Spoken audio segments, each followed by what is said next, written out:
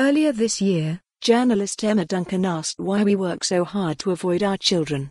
Will future generations look back and wonder why parents fought tooth and nail for time in the office? If today's battles result in a childcare sector that offers real choice at a lower cost, and a society where having a baby no longer means reduced earnings or stunted career progression for women, judgment from our successors may be a price worth paying. One such battle occurred recently, when a Miss World contestant took legal action against the pageant after being stripped of her title for being a mother. Given the sexism and superficiality at the core of the competition, such an archaic and insulting rule shouldn't be surprising but the comments from one organizer, who speculated that it would be unfair on the child for the mother to be away for a year traveling, never mind where the father might be or the fact that plenty of working mothers spend time away from home, give credence to Stella Creasy's claim in June that the equality battle is far from over. This election campaign has thrust the issue of childcare to the fore. Politicians acknowledge that change is needed, that there is something wrong when becoming a mother means a penalty on pay, pensions and career prospects, but are clueless on what to do about it.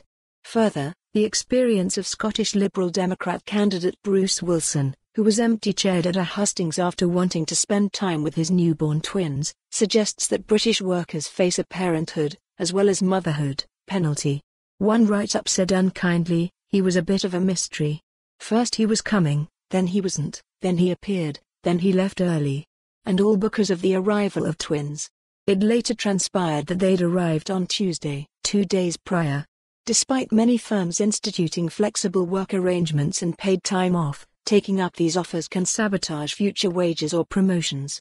And even though shared parental leave was introduced in 2015 to narrow the gender pay gap, take up has been dismally low. Some suggest that, as lawmakers, MPs should lead by example, but Parliament currently allows just six months of proxy voting, and complaints of antisocial hours have been raised. The issue persists that, regardless of profession, parents are torn between prioritizing time with their kids or focusing on the means of providing for them. A study from the University of North Carolina found that it is worse for fathers to choose to stay at home in competitive job markets. They are more likely to have flexible working requests turned down, and women earn more than men for part time work. But anyone cheered by these statements should bear in mind that they entrench the assumption that women should step aside and pick flexible or part-time roles, while men climb the ladder. It has been said before, but em for more on this story, visit the news article link.